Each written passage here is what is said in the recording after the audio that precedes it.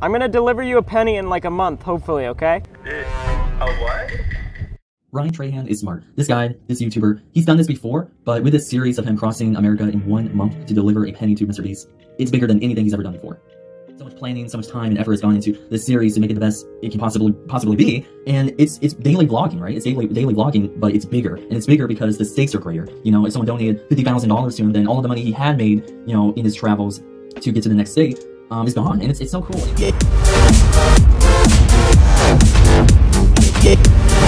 Great reset. For every person who subscribed to his channel, he would donate one penny. And he's gained like one, two million subscribers since it started, which is insane. So he's not only making, he's not only garnering a bunch of new subscribers, but he's also making a lot of money in the process. And, and that's why I think he's so smart.